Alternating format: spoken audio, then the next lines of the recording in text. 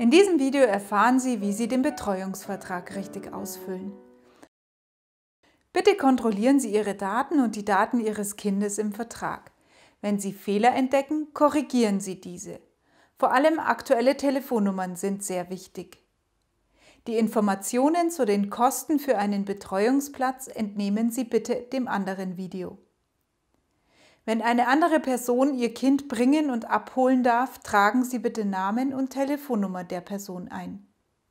Wenn Ihr Kind krank ist oder aus einem anderen Grund nicht in die Kita kommen kann, dann müssen Sie bis spätestens 8.30 Uhr in der Kita anrufen.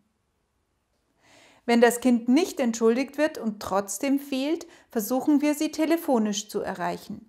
Wenn das nicht gelingt und wir keine Meldung von Ihnen erhalten, schreiben wir Ihnen einen Brief. Wenn dann immer noch keine Rückmeldung kommt, müssen wir innerhalb von sieben Tagen das Amt für Jugend und Familie informieren. Schließzeiten sind Tage, an denen die Kita geschlossen ist. Das sind zwischen 28 und 30 Tage im Jahr. Sie erhalten eine Liste der Schließzeiten für das ganze Jahr immer im Herbst. Wir unternehmen mit den Kindern viele Ausflüge, zum Beispiel in Museen oder in den Zoo. Mit der Unterschrift im Vertrag erklären Sie sich bereit, dass Ihr Kind daran teilnehmen darf. Über Ausflüge informieren wir Sie rechtzeitig. Ihr Kind ist auf dem direkten Weg zur Kita und nach Hause versichert. Sollte auf diesem Weg ein Unfall passieren, der einen Arztbesuch erfordert, informieren Sie bitte sofort die Kita. Wenn Ihr Kind an schwerwiegenden oder länger andauernden Krankheiten leidet, informieren Sie uns. Nur dann können wir richtig reagieren. Wichtig ist dies zum Beispiel bei Diabetes, starken Allergien, Herzerkrankungen oder ähnlichem.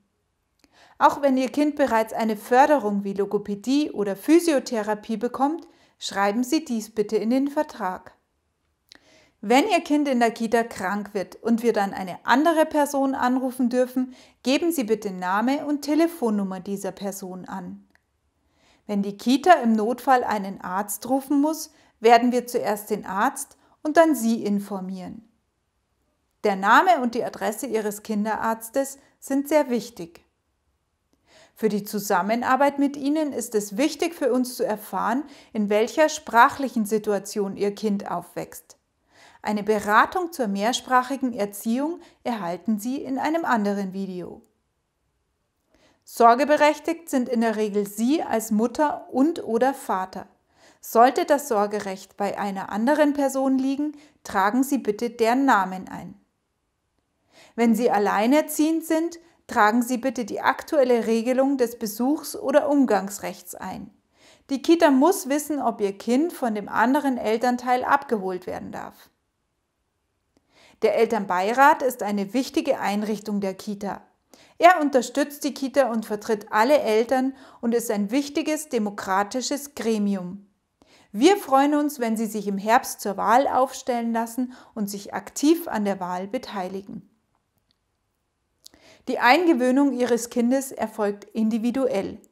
Jedes Kind kommt in einem anderen Alter, in einer anderen Entwicklungsphase und mit unterschiedlichen Erfahrungen in die Kita. Manche Kinder haben eine Krippe besucht und sind es gewohnt, sich jeden Morgen von den Eltern zu verabschieden. Manche Kinder waren noch nie von den Eltern getrennt. Die Eingewöhnung wird von unseren erfahrenen Fachkräften in der Gruppe sehr gut begleitet. Unser Personal spricht mit Ihnen darüber ab dem ersten Tag.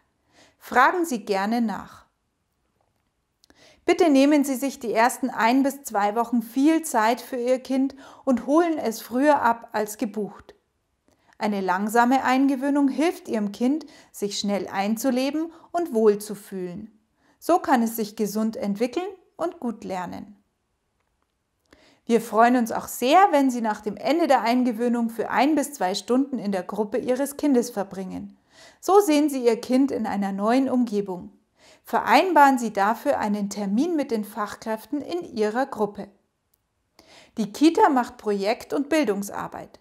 Dazu ist es hilfreich zu wissen, welchen Beruf oder welches Hobby die Eltern haben. Möglicherweise sprechen wir sie dann an und bitten sie um Mithilfe bei einem Projekt. Sie sind zum Beispiel Taxifahrer oder Taxifahrerin? Wir laden Sie im Rahmen eines Projektes ein, mit Ihrem Taxi in die Kita zu kommen und den Kindern von Ihrer Arbeit zu erzählen. Oder vielleicht lesen Sie gerne. Wir laden Sie ein, den Kindern eine Geschichte zu erzählen oder vorzulesen. Sehr gerne auch in Ihrer Muttersprache. Sie kochen gerne? Wir freuen uns, wenn Sie mit den Kindern zusammen ein Essen kochen, vielleicht sogar aus einem anderen Land. Wenn Ihr Kind bereits in einer anderen Einrichtung war, ist es manchmal hilfreich, wenn die Kita sich bei den dortigen Kollegen und Kolleginnen bei Schwierigkeiten erkundigen kann. Ihr Kind hat zum Beispiel Probleme bei der Eingewöhnung. Wir können die Kollegen aus der Krippe zum Beispiel in die Kita einladen, damit Ihr Kind die Schwierigkeiten besser überwinden kann. Damit Eltern sich gut vernetzen und sich gegenseitig unterstützen können, ist es wichtig zu wissen, ob wir ihre Telefonnummer an andere Eltern weitergeben dürfen. Bitte kreuzen Sie hier an. In der Kita werden manchmal Fotos oder Filmaufnahmen von den Kindern gemacht. Diese Bilder werden zum Beispiel für das Portfolio, für Flyer oder für eine Kita-Zeitung verwendet. Vielleicht werden sie auch an einem Elternabend gezeigt. Bitte kreuzen Sie an, ob wir die Fotos Ihres Kindes verwenden dürfen und geben Sie auch an, für welche Zwecke. Bei Festen und Feiern dürfen Sie selbstverständlich ebenfalls Fotos von Ihrem Kind machen. Bitte beachten Sie, sobald andere Kinder auf dem Foto sind, darf es nicht im Internet auf sozialen Netzwerken wie Facebook oder WhatsApp verbreitet werden. Überlegen Sie bei allen Fotos Ihres Kindes genau, ob Sie diese wirklich im Internet veröffentlichen möchten. Gehen Sie verantwortungsvoll mit den Persönlichkeitsrechten Ihres Kindes um. Bitte denken Sie daran, jede Veränderung der Kita mitzuteilen. Das können zum Beispiel eine neue Telefonnummer, eine Bankverbindung, die Adresse und so weiter sein. Bitte melden Sie sich bei uns, wenn Sie Fragen zum Vertrag haben oder wenn Sie weitere Informationen benötigen.